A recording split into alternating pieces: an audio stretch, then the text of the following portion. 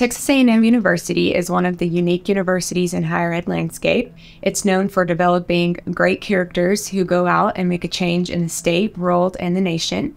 It is a part of the Association of American Universities and ranked consistently as one of the finest universities throughout Texas. In 2018, as Texas A&M University was developing the Department of Psychiatry and Behavioral Sciences, they successfully recruited Dr. Israel Liberzon as a professor in the department as well as the founder head of the department. The department continues to enhance the development of innovative training programs, research collaborations, and the expansion of clinical services to support the department's mission of patient care, education, and research. All three missions are highly integrated and important for each other. We have a very active fMRI research program. This is one of the ways to visualize and understand the specific brain circuits that are involved in mental phenomena. More importantly, the function of those circuits can be altered or abnormal in particular psychiatric disorders.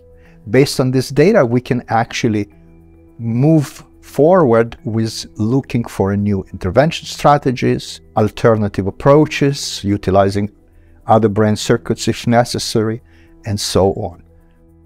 The telebehavioral care program works very hard to serve those who typically don't have access to care. So, rural and underserved populations, the uninsured. We have provided over $3 million in free services to over 3,000 people and because we're telehealth, people aren't having to travel. So, over a million miles saved, a million minutes saved. Kids are able to stay in their schools. Um, people are able to stay at work or at home where they may have caregiving responsibilities and still get the mental health care that they need. My laboratory studies post traumatic stress disorder. What a lot of people don't know about PTSD is that it has a major impact on the immune system.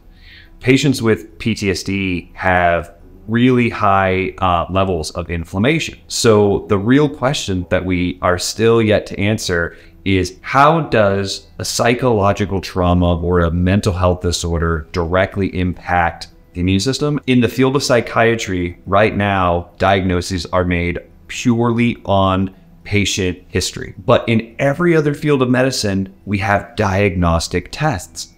And we'd really like to bring that into the field of psychiatry. We also hope that by figuring out how these biological factors of mental health play a role in the disease, that we can actually use them as targets for therapy. And maybe we can even bring a new class of drugs that potentially target the immune system or other organ systems that then overall help mental health. I think our psychiatry residency is unique in several ways. We have a relatively rural catchment, and so our, re our residents are exposed to populations from rural areas. When I was deciding um, on residency programs, I knew that at this stage I wanted to have more of a small town life experience. And then professionally, I was interested in working with military populations, um, students and mental health, along with underserved minority populations. And so I knew that Texas A&M just seemed like a good fit combining the life I wanted outside of residency along with my professional goals. Our residents train with diverse patient populations,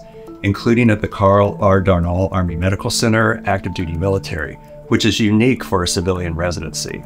From the moment I walked into Darnall, I immediately felt taken in as one of their own residents. The Darnall residency is so heavily psychotherapy focused, while other residencies who are working with bipolar mania or the other serious mental illnesses, a lot of that's going to be psychopharmacology. The Darnall residency, the emphasis is on solution focused therapy. I think it's one of the big reasons why a lot of us chose psychiatry in the first place.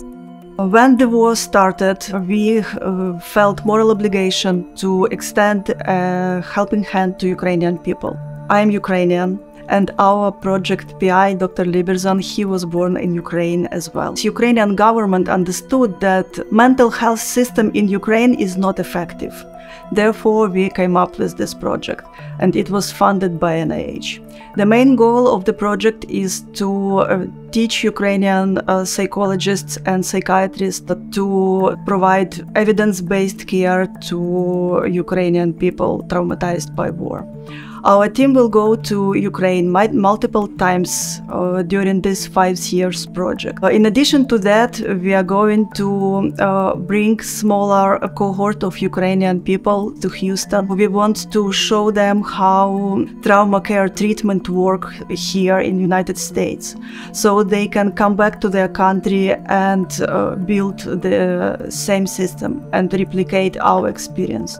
Within this concept of growing our clinical care, we see ourselves as leaders in providing the most advanced evidence-based care in Texas, in United States, but also anywhere else in the world.